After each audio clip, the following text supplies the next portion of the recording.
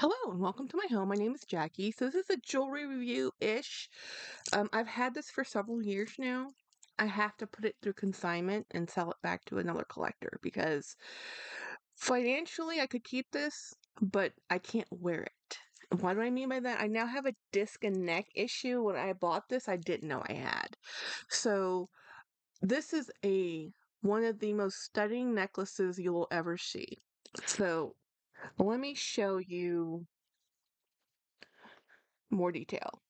This is what turquoise looks like when it's not stabilized. Almost all the turquoise you see today is stabilized turquoise, but traditionally they used to hand chip unstabilized turquoise. So you see how it looks, the cleavage marks of how it's been, um, the stone looks a little kind of round, not not perfectly rounded. This is hand chipped and then polished, right? So when you chip stone to shape it, it cuts on a, um, a natural cleavage line. So there's a lot of waste material when you do it this way, which is why they don't do it this way anymore. Now that they can stabilize turquoise, they um almost everything you buy will be stabilized. So this is hand absolutely hand shaped the whole thing. This is San Domingo, I believe, the um, artist who made this. This is too heavy for me to wear. I love this necklace. I think this necklace is absolutely one of the most beautiful necklaces I've ever owned. This is the most single single most expensive piece of, piece of jewelry in my entire home. Um, I'm going to consign it for whatever they can sell it for. It doesn't matter. It's not something I can just put on the shelf and leave because this needs to go to somebody who can enjoy it, wear it, and love it. I can just put it on and take it off.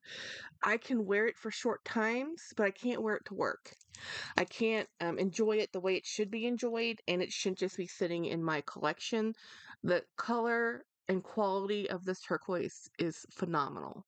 Um, you're not going to see stuff like this very often. This came from a pi- private collection into um, the person who I bought it from, and I buy jewelry from them. I have for over 20 years. They deal directly with artists, and they I normally don't like to consign back art pieces that I've purchased, but this is just one of those cases where I can't wear it. And it's too valuable just to sit here, to sit in my collection until like my, till, you know, end times of my life, right? This deserves to be used and worn and loved. And, and things like this that are hand wrapped like this, uh, you have to um, periodically rewrap them.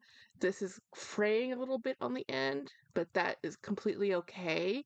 Um, this is an absolutely gorgeous, stunning piece of jewelry, and I wanted to show it off before before it goes away out of my collection, and it is leaving my collection. Um, so whether it sells a year or two or five, it's leaving my collection.